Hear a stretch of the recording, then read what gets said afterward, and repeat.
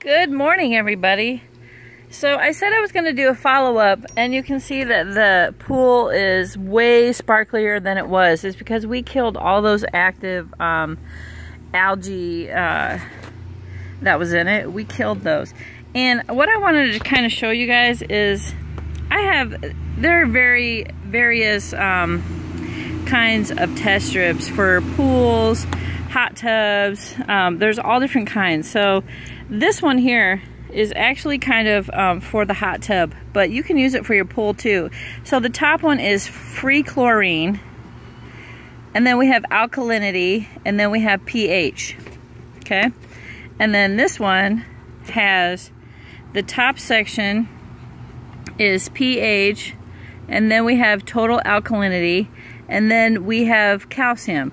Now, but the thing is, is that this strip has four things on it, right? It has four things.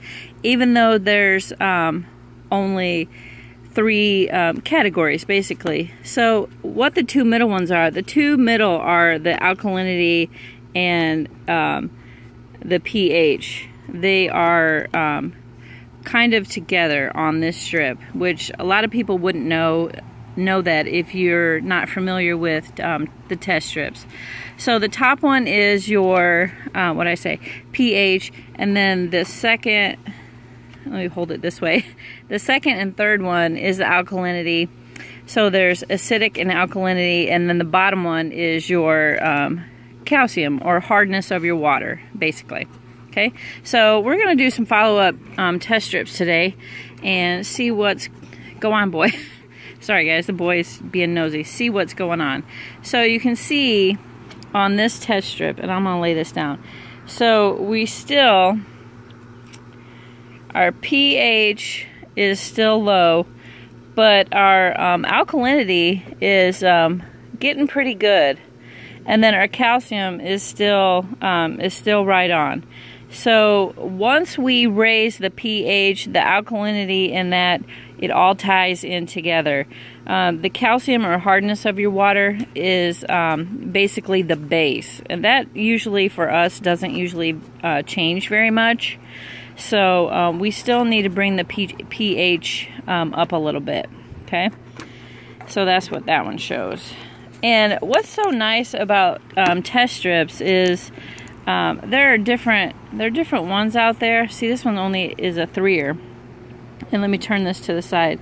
So this one is your free chlorine, your alkalinity, and your pH. And it's kind of a good idea to have um, three different, two or three different kinds of um, tests because one can always give a false positive and you just never know. So this one here, and this one is probably more accurate than the other ones. So you can see that our free chlorine um, was all washed out because of um, all the rainwater.